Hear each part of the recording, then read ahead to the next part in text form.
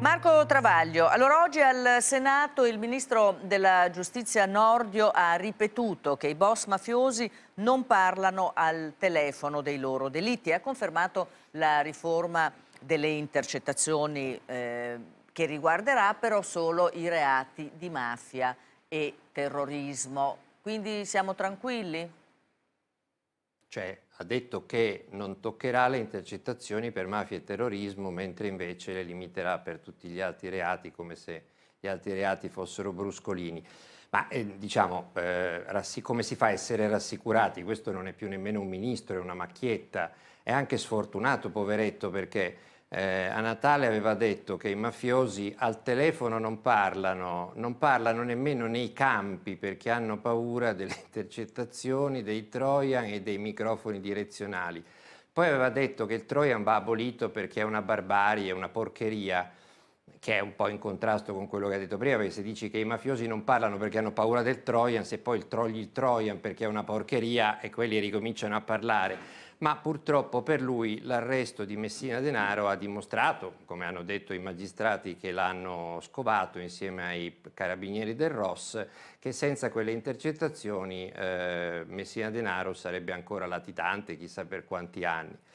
Allora, poveretto, oggi ha dovuto rettificare, però non ha voluto completamente eh, darsi la zappa sui piedi e quindi ha detto no, ma io intendevo dire che i mafiosi parlano, ma non parlano di reati.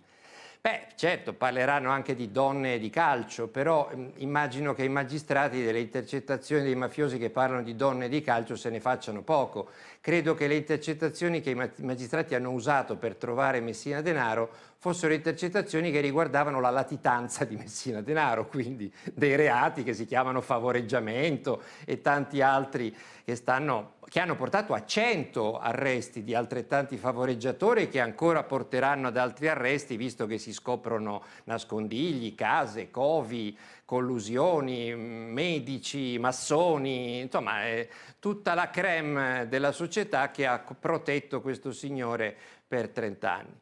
E, ehm, quindi insomma ogni volta che mette una toppa fa un altro buco eh, ed è, ti pare rassicurante che questo sia il ministro della giustizia in un paese serio, ma in un paese serio non farebbe, nemmeno, non dico il ministro, non farebbe, non farebbe niente probabilmente, l'avrebbero lasciato in pensione eh. felici e contenti che non sia più magistrato. Allora, ognuno è rassicurato eh, da cose diverse, io sono rassicurato dal fatto che un magistrato di alto valore, quale è Nordio, sia oggi il ministro di Grazia e Giustizia. Marco Travaglio era rassicurato invece quando ministro di Grazia e Giustizia era tal Bonafete, noto come sì, Fofò DJ, confermo. come Fofò DJ confermo. con un curriculum da DJ e non con un curriculum di alto magistrato. Da avvocato. Quindi, da no, avvocato. Scusa, io non ti ho interrotto, però 3 minuti e 40 secondi. Se mi fate esprimere, poi mi dite che ho sbagliato tutto, però almeno fatemi esprimere. E quindi Sempre lui, che ti dà del voi, lui, eh, Marco Lui è più interessato a, al curriculum di Fofò DJ, io più interessato a Nordio. Nordio oggi ha detto due cose molto importanti. Uno, che il governo intende coniugare il garantismo con la certezza della pena. Quindi ha detto una cosa che rispetta la Costituzione, che è garantista, e rispetta la certezza della pena, che è un valore della destra politica. Quindi ha detto una cosa giusta. Nessuno vuole limitare le intercettazioni, ma si vuole limitare l'abuso delle intercettazioni. Abuso di tempo, abuso di costi, abuso spesso di scelta del soggetto da intercettare per ragioni mediatiche, abuso per la propalazione di notizie che rovinano la vita delle persone. Quindi io credo che Nord stia facendo un gran servizio al Paese. Mi dispiace per Travaglio, non siamo d'accordo, ma questa è una cosa normale, io penso che Nordio sia molto migliore di Fofò Bonafede. Allora sgombriamo il campo dagli equivoci. Io non penso che la Meloni voglia depotenziare la lotta alla mafia, non penso che questo sia un governo fav a favore della mafia, no. così eh, sgombriamo subito il campo. Io il primo titolo che ho fatto su questo governo era Buona la prima, quando hanno fatto la legge sull'ergastolo ostativo. Quindi io ho, io vorrei spiegare a Bocchino che a me, di chi c'è al governo, non me ne importa niente. Se fa cose buone, lo dico. Le cose buone le decido io in base alle mie idee. Allora, dato che io per vent'anni ho chiesto di bloccare la prescrizione, quando Bonafede ha bloccato la prescrizione io l'ho applaudito, non perché mi sta simpatico Bonafede, ma perché ha fatto una cosa che io chiedevo sì, da vent'anni. Marco, Marco, poi una volta quando Bonafede ha fatto il reato di voto Eh, di scambio eh, politico mafioso, dato che erano vent'anni che si diceva che quel reato aveva il buco, io l'ho applaudito perché l'ho chiesto per vent'anni. Se questo governo tocca le intercettazioni non per levare gli abusi, perché gli abusi sono già un reato oggi, quindi non c'è bisogno di stabilire per legge che non si fanno gli abusi, perché gli abusi sono già vietati dalla legge attuale e la diffusione di quelle che non c'entrano con i reati è già evitata dalla riforma Orlando che stabilisce il- l'archivio riservato delle procure. Quello che esce sui giornali è perché è inerente e perché è pubblico. Bocchino, quando eh, combatteva la riforma Alfano nel 2010 dicendo che era assolutamente incostituzionale, è perché Alfano diceva di voler limitare gli abusi. In realtà voleva limitare le intercettazioni dei magistrati per i reati dei colletti bianchi, non per la mafia, per la corruzione, per la truffa, per il peculato, per l'abuso d'ufficio, per il falso in bilancio, per la frode fiscale, eccetera. Cioè per gli stessi reati per cui li vuole limitare l'attuale governo. Allora, la domanda è Benissimo, io credo che Giorgia Meloni faccia politica perché a 16 anni è rimasta scioccata dalla strage di Via D'Amelio. Che cosa le è saltato in mente di nominare uno come Nordio in quel posto chiave, visto che Nordio oggi dice le stesse cose che diceva un anno fa e due anni fa e sono le cose che ha sempre detto Berlusconi, a cui Bocchino nel 2010 si oppose al punto di fare la scissione insieme a Fini dal PDL. Adesso canta un'altra musica. Io canto sempre la stessa musica. Per me i magistrati devono intercettare chi sospettano di avere commesso reati. Chiunque glielo lasci fare, io lo applaudo. Chiunque gli mette i bastoni fra le ruote, io lo condanno. Sia che si chiami Bonafede, sia che si chiami Meloni, sia che si chiami Nordio. La prescrizione è uno degli elementi fondanti di una civiltà giuridica. Lo Stato Ma di che deve- parli? Ce l'abbiamo Sta- solo Ma noi. Fammi parlare. Ce lo- l'abbiamo solo noi. ma fondati? lo Stato deve perseguire il reato e si deve dare un tempo. Io non chiederei mai la prescrizione, rifiuterei la prescrizione. A te è capitato di chiederla una volta personalmente la mai, prescrizione? mai Una chiesta, volta. mai chiesta né Dopo hai detto che era stato mai. il tuo avvocato senza informarti. Una no, volta no, ma sei non è stato stata né prescritto. chiesta né concessa. Sei no, sta- non è stato prescritto. È l'unica condanna definitiva che ho. Una multa. 1000 euro. La- tu- Informati, ah, è falso. No, mi, mi informo, mi è l'unica condanna che ho. Una L'hai detto multa tu di che 1000 fu il tuo euro. avvocato. Quindi io dico, la non è prescrizione... stata accolta. La Non so cosa prescrizione- dirti, non c'è la prescrizione. Quindi se non è condanna, accolta, scusa, di 1000 euro. se non è stata accolta è stata richiesta, quindi ammetti che è stata Ma l'ha chiesta la chiesta prescrizione. l'avvocato, ma non gliel'hanno data. Ah, l'ha chiesto Io al tuo non avvocato posso- a tua insaputa. Sai che tante persone sono Ma è successe cose a l'avvocato loro insaputa. dell'Espresso, Vabbè. io cosa c'entro? Ben- benvenuto In nel club a mia insaputa. sempre, ma Allora, non il c'è, tema della non ho prescrizione. mai preso una Il, prescrizione. il punto vero, il ma tu sei contro gli abusi, sei contro il fatto che Nunez nell'inchiesta Global Service, che ti ricorderai benissimo, si suicidò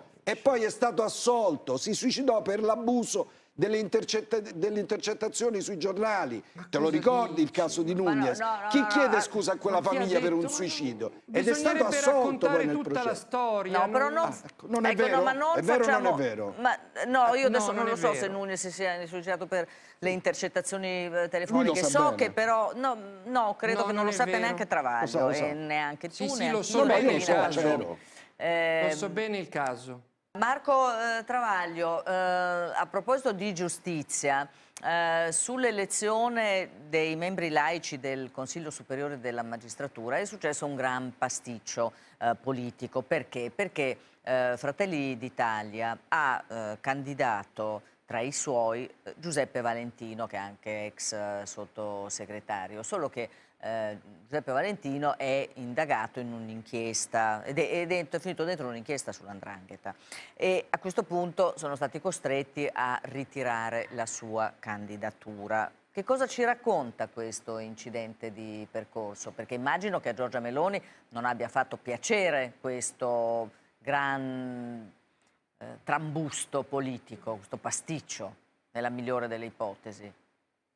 Eh, eh, rientra sempre nella sfortuna che questa cosa è capitata il giorno dopo la cattura di Messina Denaro e quindi quando candidi non in un posto qualsiasi, al Consiglio Superiore della Magistratura per farne il vicepresidente, cioè il capo, perché di fatto è quello che gestisce il Consiglio per conto del Presidente della Repubblica che non è sempre presente. E ci metti uno che ha un'indagine collegata a quella di Gota per Andrangheta.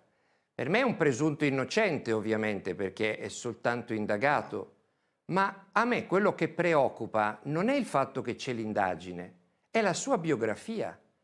È un signore che risulta in contatti strettissimi, fino a quando non l'hanno arrestato, con un certo Paolo Romeo, che non c'entra niente con l'amico di Bocchino, quello dello scandalo Consip. Beh, è un certo Paolo un Romeo, eh. calabrese, mai stato, calabrese, no, che... Qualche frequentazione eh, l'hai avuta.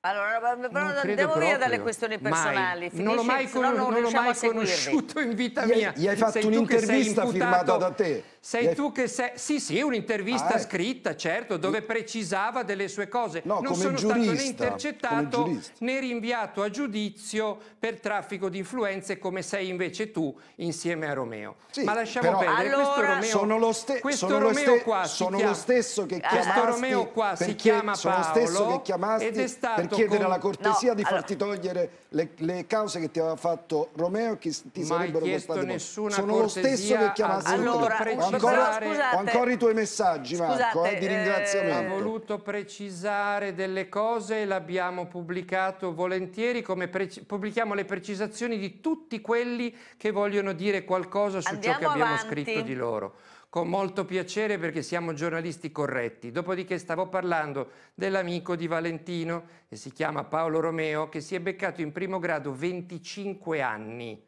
per Ndrangheta ed è un ex fascista, neofascista di avanguardia nazionale di ordine nuovo, reo confesso di avere ospitato Franco Freda nella latitanza allora la domanda è, ma come fa il partito del Presidente del Consiglio a proporre alla vicepresidenza del CSM uno che ha queste frequentazioni non mi interessa se è indagato, non indagato, eccetera. Ma voglio dire, ma le ragioni di opportunità politica ma quando ci si sciacqua la bocca di Borsellino, ma Borsellino diceva prima arriva, che arrivi la magistratura, i partiti facciano pulizia al loro Infatti interno e colpiscano anche i comportamenti che non sono reato, perché non ci sono solo i reati, ci sono anche un sacco di altre cose che non sono reato, ma che con la politica non devono avere niente a che fare. Com'è possibile che il partito della eh. Meloni sia arrivato a farlo votare?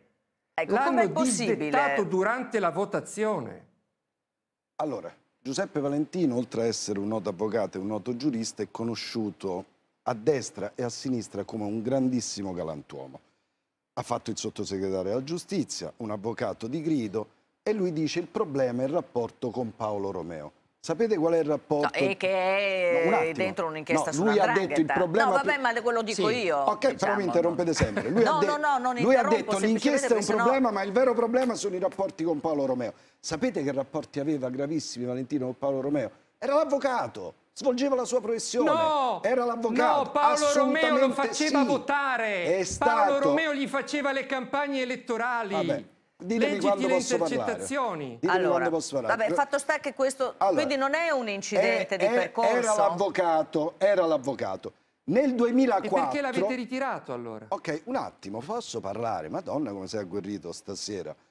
Allora, Beh, nel, tutti e due nel 2004, bene. 19 anni, fa, 19 anni fa, viene fuori una questione che interessa la magistratura regina Adesso ditemi voi, è civiltà giuridica che sta a 19 anni una roba lì e poi il giorno, l'ora che stai per essere eletto al Consiglio Superiore della Magistratura, una manina da un ufficio, un parlamentare locale dei 5 Stelle, due testate giornalistiche tirano fuori questa cosa. Questo è il problema della civiltà giuridica. Qui parliamo di un galantuomo che faceva la sua professione di avvocato penalista di Romeo. Allora scusate, questo, questo avvocato non doveva difendere. Gli avvocati penalisti chi devono difendere? Scusate. Chi devono difendere? Perché se non, non difendono di le persone che sono sotto processo, chi devono difendere? Difendono Travaglio. le persone sotto processo. A parte il fatto che Rapido. quest'idea che ieri una manina ha tirato fuori una notizia segreta è ridicola. Se mi facevate un colpo di telefono anche una settimana fa, ve lo dicevo io che era sotto indagine, perché lo sanno tutti. Lo sanno tutti, è sotto indagine da anni e questo è un problema di lentezza della giustizia 2004, italiana. Ne convengo, Marco, 2004, ne convengo. 19 ma, anni. Ma, ma- ma non, te- ma non ce la si cava così perché quello è il Consiglio Superiore della Magistratura. Ma ti pare che puoi mettere uno che è sotto indagine e dopo che magari viene eletto vicepresidente del Consiglio Superiore della Magistratura avete l'imbarazzo perché magari può capitare che te lo rinviano a giudizio o che Romeo si ricorda qualcos'altro di lui? Ma è l'opportunità Allora. politica che vi ho detto, ma, ma- ma rendetevi Allora- conto della selezione della classe contrario dirigente che fate. quando sarà archiviato Ecco. ci sarà l'imbarazzo Ma io lo contrario spero, e sarà ma i rapporti vostro. rimangono no, non, non lo devi sperare, ne puoi star certo. No,